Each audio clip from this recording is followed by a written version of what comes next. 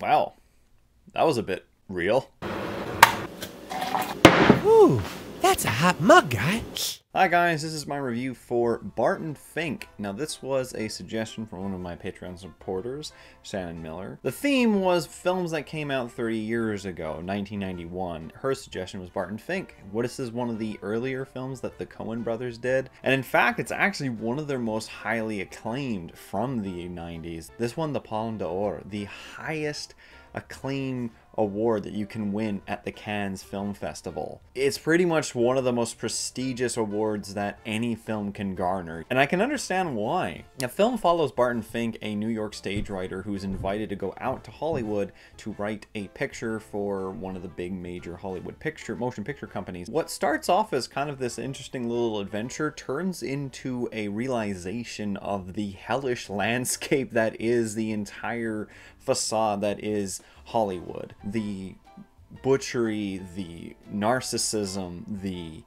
backstabbing, the highly acclaimed egos, the falseness of everything that is Los Angeles in the Hollywood landscape comes crushingly down on Barton. He navigates through this nightmare, this live nightmare, while trying to defeat his own case of writer's block because of all of these incredibly bizarre and fascinatingly horrific events that are happening all around him. I would definitely say this is a very, very good example of a black comedy because there's a lot of parts that made me laugh out loud watching this by myself when I really probably maybe shouldn't have. There's a lot of dark humor in this film. It's definitely got the staple marks of everything that made the Coen brothers what they are. And it's got some very great performances. John Turturro is the focus point of this film, being Barton Fink, being this fish out of water in this world. John Goodman is his estranged, sort of very interesting yet very peculiar neighbor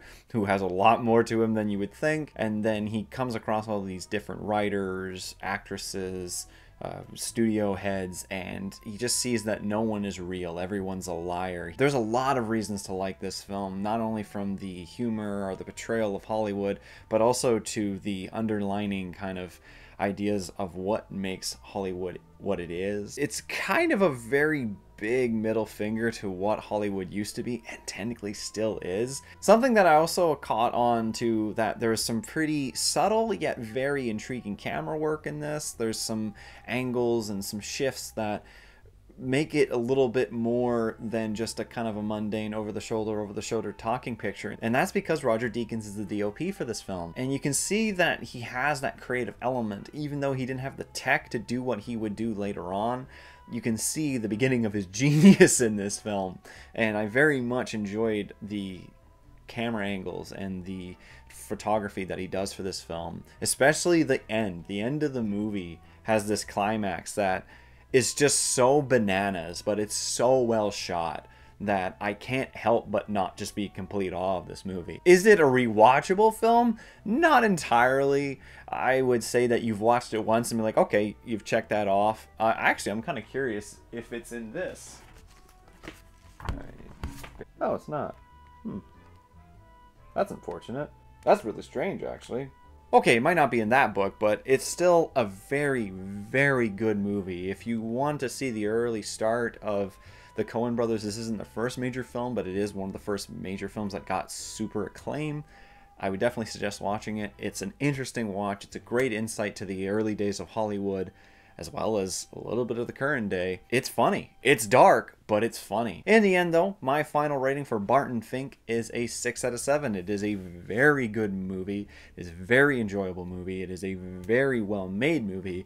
It's just not one that I would put on again and again and again. Honestly, I don't think I'll ever watch it again, but I'm happy that I did. And thank you, Shannon, for this suggestion. This was a really good movie to suggest. Thank you so much for that. And if you guys would like a say in what I review next time in my Patreon polls, you can check out my Patreon. There's a link to it in the description below, and you can consider being a supporter. Otherwise, guys, I hope you enjoyed the video. If you did, leave a like, and if you're interested in more, subscribe. Otherwise, See you guys next time. Thanks for watching the video. My name is Nitz, and you might remember me from the animated cult classic TV show Undergrads. It's been a while, but I'm happy to say the Clique is finally getting back together in an all new movie, thanks to a successful Kickstarter campaign. But we are still asking for your support. To see any and all updates about the upcoming Undergrads movie, be sure to check out and like the Bring Back Undergrads Facebook page. And with any luck, we'll see you guys soon.